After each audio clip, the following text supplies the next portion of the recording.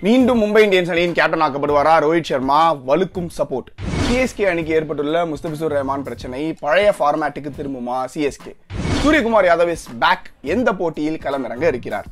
தெரிஞ்சுக்கலாம். வாங்க டிசிஎன் நேர்களுக்கு வணக்கம்.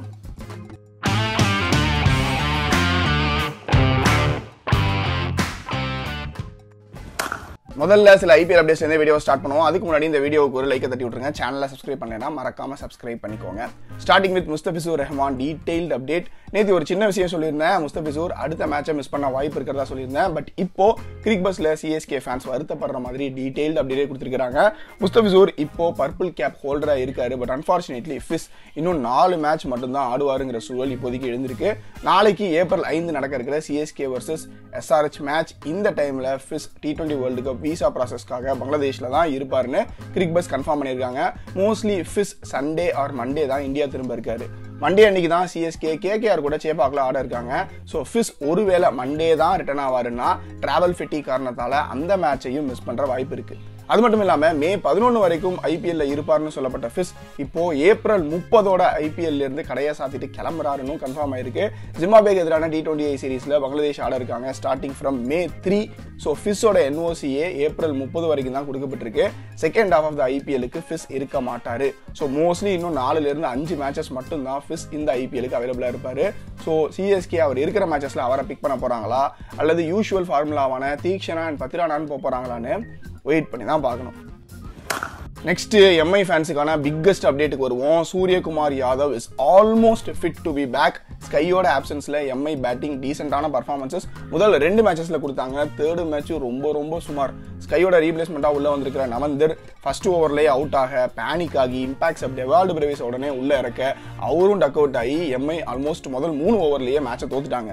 எப்போதான் ஸ்கை திரும்ப வருவாருங்கிற கேள்வி எம்ஐ ஃபேன்ஸ் மத்தியில் இருந்துச்சு. அதுக்கான விடை இப்போ கிடைச்சிருக்கு. The Times of India report படி Sky is almost fit to be back இன்னும் ஒரே ஒரு லாஸ்ட் ஃபிட்னஸ் டெஸ்ட் மட்டும் இருக்குது அந்த டெஸ்ட்டையும் இன்னைக்கு ஸ்கை கிளியர் பண்ணிட்டார்னா அவரை இமீடியட்டாக என்சிஏலேருந்து எம்ஐ கேம்புக்கு அனுப்பிடுவாங்க. SKY is definitely joining Mumbai Indian soon T twenty world cup ஏறுங்கிறதால sky விஷயத்தில் என்சிஏ அண்ட் பிசிசிஏ ரிஸ்க் எடுக்க விரும்பல. அதனால தான் இந்த delay because start of the ஐபிஎலுக்கு முன்னாடி எடுக்கப்பட்ட ஃபிட்னஸ் டெஸ்ட்லேயே ஸ்கை ஆல்மோஸ்ட் குட்டாக இருந்திருக்காரு. பட் பேட்டிங் அப்போ கொஞ்சம் பெயின் இருந்திருக்கு. ஸோ நூறு சதவீதம் ஃபிட் ஆனதுக்கப்புறம் என்சிஏலேருந்து அனுப்பலான்னு அவர் அங்கேயே டீடைன் பண்ணிட்டாங்க. இப்போ ஸ்கை ஆல்மோஸ்ட் ரெடி இன்னும் ஒன் ஆர் டூ டேஸில் எம்ஐ கேம்பில் ஜாயின் பண்ணுவார்னு எதிர்பார்ப்பு இருக்குது இமீடியட்டாக டிசிக்கு எதிரான மேட்ச்சில் ஆட வைப்பாங்களான்னு தெரியல. பட் கண்டிப்பாக ஏப்ரல் பதினொன்று ஆர்சிபிக்கு எதிரான மேட்ச்சில் ஸ்கை ஆடுவார். That is from the for now guys before we move on further my eleven சர்க்கிளோட mega contest பற்றி ஒரு சின்ன இன்ஃபர்மேஷன் மைலவன் சர்க்கிளோட மெகா கான்டெஸ்ட்டில் ஒன் க்ரோரில் ஆரம்பிச்சு மஹிந்திரா டார்னு நிறைய ப்ரைஸஸ் கொடுத்துருக்காங்க. மைலவன் சர்க்கிள் ஆப்பை நான் டிஸ்கிரிப்ஷன் அண்ட் ஃபஸ்ட் கமெண்ட்டில் கொடுத்துருக்க லிங்கை யூஸ் பண்ணி டவுன்லோட் பண்ணுங்க.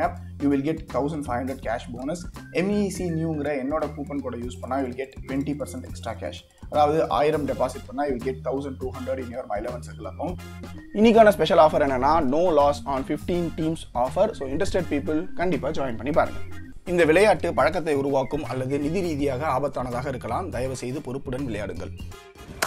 மீண்டும் எம்ஐ கேப்டன் ஆக்கப்படுவாரா? ரோஹித் சர்மாங்கிறத பத்தி பார்க்கறதுக்கு முன்னாடி மற்ற கிரிக்கெட்டிங் ஹெலன்ஸ் பத்தி பார்த்துடலாம். ஐபிஎல் ரெண்டாயிரத்தி இருபத்தி நாலுல இருந்து காயம் காரணமாக விலகியிருக்காரு லக்னோ சூப்பர் ஜெயின்ஸ் அணியின் ஃபாஸ்ட் போலரான சிவம்மாவி ஒருவேளை ஐபிஎல் டீம் ஸ்போர்ட்டா இல்லாம இண்டிவிஜுவல் ஸ்போர்ட்டா இருந்திருந்தா விராட் கோலி தான் அதிக டிராஃபிஸ் ஜெயிச்சிருப்பாருன்னு சொல்லியிருக்காரு. Former Indian head கோச்சான Ravi Shastri. Most of the top New Zealand players IPL இருக்கிறதால பாகிஸ்தானுக்கு எதிரான டி டுவெண்ட்டி சீரீஸில் நியூசிலாண்டை கேப்டன்சி பண்ண இருக்கிறாரு ஆல்ரவுண்டர் மைக்கேல் பிரேஸ்வெல் கேகேஆருக்கு எதிரான மேட்ச்சில் ஸ்லோ ஓவர் ரேட் மெயின்டைன் பண்ண காரணத்துக்காக இந்த ஐபிஎல்ல ரெண்டாவது முறையாக ஃபைன் பண்ணப்பட்டிருக்காரு டிசி கேப்டன் ரிஷப் பண்ட் என்னை பொறுத்த வரைக்கும் ப்ரெஷர் சுச்சுவேஷன்ஸில் ஆர்சிபியோட ஓவர்சீஸ் பேட்ஸ்மேன்கள் யாருமே பர்ஃபார்ம் பண்ணுறதில்ல இந்தியன் பிளேயர்ஸ் குறிப்பாக யங்ஸ்டர்ஸ் தான் பெரும்பாலும் ஆர்சிபிக்கு டஃப் சுச்சுவேஷன்ஸில் பர்ஃபார்ம் பண்ணியிருக்காங்க. ஆனால் ஆர்சிபி அந்த யங்ஸ்டர்ஸை பேக் பண்ணுறதே இல்லை.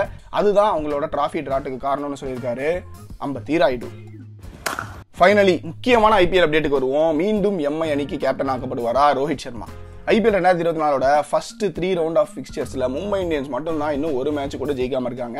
கண்டிப்பாக இது எம்ஐ ஃபேன்ஸுக்கும் சரி எம்ஐ மேனேஜ்மெண்ட்டுக்கும் சரி தலைவலியான விஷயம் தான் especially on paper எம்ஐயோட squad compare to all other teams பக்காவாகவே இருக்குது பிளேயிங் லெவன் காம்பினேஷனை சார்ட் அவுட் பண்ணிட்டு கேப்டன்சி பிரச்சனையை கிளியர் பண்ணிட்டா எம்ஐயால ஸ்டில் ஐபிஎல் ரெண்டாயிரத்தி இருபத்தி நாலு ஜெயிக்க முடியும்னு ஃபேன்ஸில் ஆரம்பிச்சு எக்ஸ்பர்ட்ஸ் வரைக்கும் எல்லாருமே பிலீவ் பண்ணுறாங்க ஸ்கையும் விரைவில் ரிட்டர்ன் ஆக இருக்கிறதால MI can be back to winning ways அதே சமயம் ஒருவேளை ஃபோர்த் மேட்சும் எம்ஐ தோத்தா ஹார்திக்கோட கேப்டன்சி சீட்டு மேலே இப்போ இருக்கிற ப்ரெஷர் பல மடங்கு அதிகமாயிடும். இது குறித்து பல எக்ஸ்பர்ட்ஸ் ஆல்ரெடி கருத்து தெரிவிக்க ஆரம்பிச்சிட்டாங்க. குறிப்பாக கிரிக்பஸில் முன்னாள் இந்திய வீரர் மனோஜ் திவாரி என்ன சொல்லியிருக்காருன்னா இன்னும் ரெண்டு மேட்ச் எம்ஐக்கு சரியா போகலைன்னா ரோஹித் சர்மாவுக்கு மீண்டும் கேப்டன்சி கொடுக்கப்படலாம். இத்தனை வருஷம் ஐபிஎல்ல நான் கற்றுக்கிட்ட விஷயம் என்னன்னா இந்த மாதிரி டஃப் சுச்சுவேஷன்ஸ்ல ஐபிஎல் ஓனர்ஸ் எந்த டஃப் டிசிஷன்ஸையும் எடுக்க தயங்க மாட்டாங்கிறது தான் சொல்லியிருக்காரு மனோஜ் திவாரி. இதுக்கு நேர் கான்ட்ராஸ்டிங்காக ஒரு ரிப்போர்ட்டர் நியூஸ் டுவெண்ட்டி ஃபோர் ஸ்போர்ட்ஸில் பப்ளிஷ் பண்ணியிருக்காங்க. ரோஹித் சர்மா வந்து ஹார்திக் பாண்டியாவோட கேப்டன்சியில் ஹாப்பியாக இல்லை. ஸோ ஆல்ரெடி எம்ஐ மேனேஜ்மெண்ட் கிட்ட இந்த சீசனோட முடிவில் நான் எம்ஐலேருந்து விளைவிக்கிறேன்னு சொன்னதாக ரிப்போர்ட் பண்ணியிருக்காங்க. இது எந்த அளவுக்கு உண்மைன்னு தெரியல.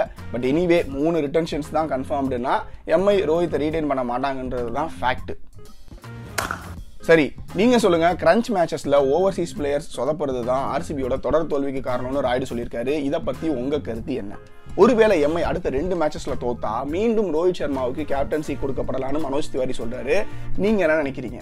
கிரிக்கெட்டும் டென்னிஸ் மாதிரி இண்டிவிஜுவல் ஸ்போர்ட்டா இருந்ததா விராட் கோலி தான் அதிக ஐபிஎல் ட்ராஃபி ஜெயிச்சிருப்பாருன்னு ரவி மேம் சொல்றாரு. உங்க ஒப்பீனியன் என்ன? மறக்காம இந்த வீடியோ லைக் பண்ணுங்க சேனல் சப்ஸ்கிரைப் பண்ணுங்க உங்க கமெண்ட்ஸை கமெண்ட் செக்ஷன்ல சொல்லுங்க.